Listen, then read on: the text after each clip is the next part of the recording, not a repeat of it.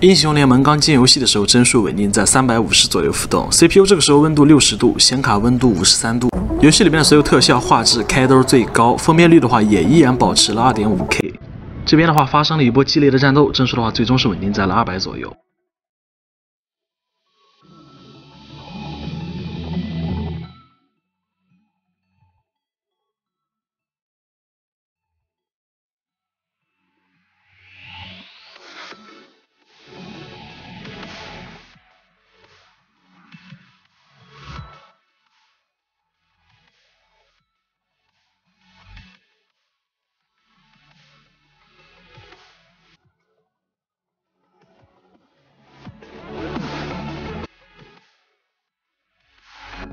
英雄联盟刚进游戏时候，帧数稳定在一百八十左右浮动，CPU 这个时候温度七十度，显卡温度六十度。游戏里面所有特效、画质开的都是最高。Dustar 这张地图是所有 CSGO 主流地图里边优化最差的那一张，所以我每次测评都会拿这张地图作为一个参考比较。尽管 Y7MP 它的屏幕没有 Y9MP 那么大，但是对于像玩 CSGO 这种超高帧的网游的话，依然是很舒服的。因为初代 DDR5 的一个延迟比较高，所以像 CSGO 以及英雄联盟这种超高帧的网游，它的优化反而不如 DDR4。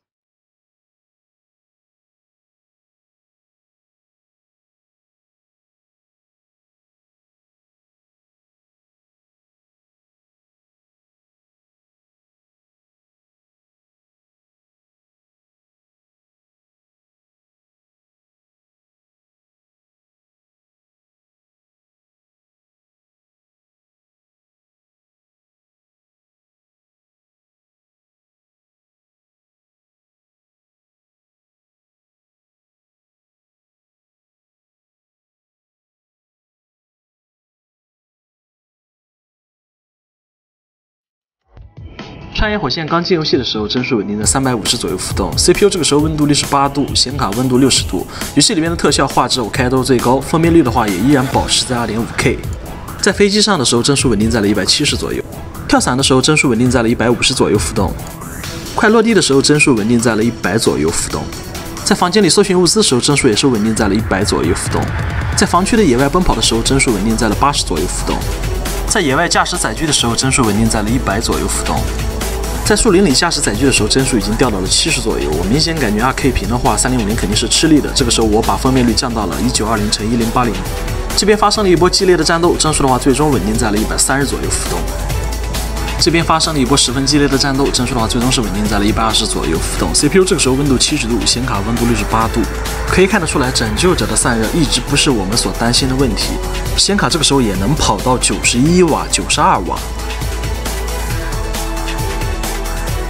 永劫无间刚进游戏的时候，帧数稳定在八十左右浮动，CPU 这个时候温度六十六度，显卡温度六十一度。游戏里边的特效画质开都是最高，但是分辨率的话，我是调到了一零八零 P 的一个水平。在房间里搜寻物资的时候，帧数稳定在了一百二十左右浮动；在野外奔跑的时候，帧数稳定在了八十左右浮动。因为刚才明显能感觉到游戏里边的这个操作体验感不是很流畅了，我把特效画质都开的最低。这边发生了一波激烈的战斗，帧数的话最终是稳定在了一百左右。我建议大家在玩《永劫无间》的时候，把所有的特效画质开到最低比较好一些。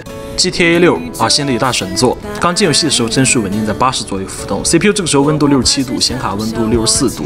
游戏里面的所有特效画质开到最高，分辨率依然保持在二点五 K。闯红灯的时候，帧数稳定在了七十五左右浮动。在马路边走路的时候，帧数稳定在了八十五左右浮动。这边的话，海军陆战队街头火拼佛布勒，游戏里面的帧数稳定在七十左右浮动。攻击直升机的时候，帧数稳定在九十左右浮动，游戏全过程体验很好，没有出现明显的脱手感。荒野大表哥二，而现在另一大神作。左边的话，这边是二 K 的一个分辨率，右边的话是一零八零 P 的一个分辨率。我这边直接跑技术测试了，大家自己看一下游戏过程中帧数变化一个情况。因为测试的时候，游戏特效开的都是最高的，游戏体验很差，我建议还是把特效开到最低。想要判定一台游戏本的游戏性能好坏，那么你一定要拿它来玩一下《赛博朋克2077》。游戏里边的特效画质我开的都是最低，并且分辨率的话，这边我也开到了 1080P 的一个水准。因为3050的一个显卡拖着一个 2.5K 的屏，你还想以高特效去流畅玩《赛博朋克2077》，这简直就是不可能的事情。